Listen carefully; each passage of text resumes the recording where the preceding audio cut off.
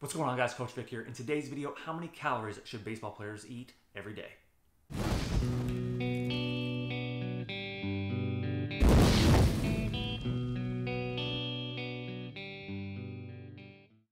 The number of calories an athlete needs every single day is going to differ on an individual basis and will be determined by a few different factors height, weight, age, and activity level.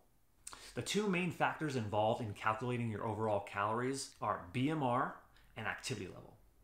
BMR stands for basal metabolic rate, which is the amount of calories your body needs when it is resting. So if you're sitting on the couch all day doing absolutely nothing, your body will burn a certain number of calories to maintain its function, and that would be your BMR.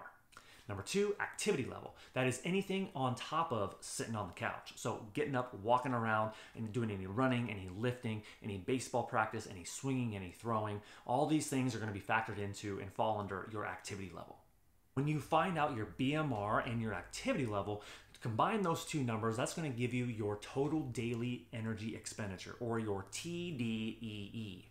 Once you've found your TDEE, I'm to give you two methods to figure out how many calories you should be consuming on a daily basis in order to lose weight or gain weight. The first method is called the quick method. For fat loss, you're going to take your overall current body weight and you're going to multiply that by 10 to 12 calories per pound of body weight.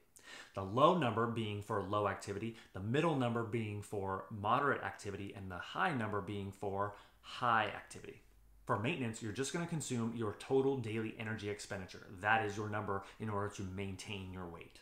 If you're looking to gain weight, you're going to take your overall body weight and multiply it by 18 to 20 calories per pound.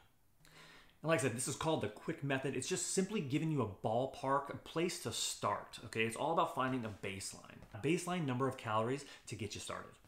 Next up, method number two, it's called a diet recall. So what you're gonna do is you're gonna track your food for seven days. You're gonna eat as you would totally normal. Anything that has a calorie in it, you are going to track it.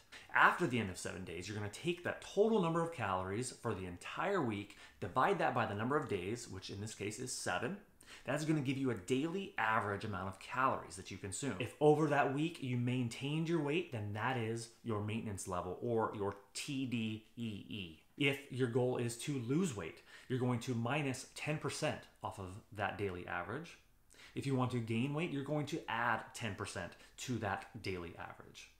And again, like I said, that is going to give you the probably the most custom number uh, by actually putting it into action and seeing what is actually working.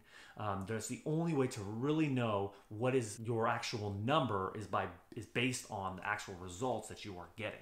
So, how do you track your calories? Well, first of all, there's tons of free apps out there. The one that I use and that I prefer is MyFitnessPal. You can download it for free in the App Store and get started by tracking these numbers. Do the calculations, plug it into MyFitnessPal, and get started.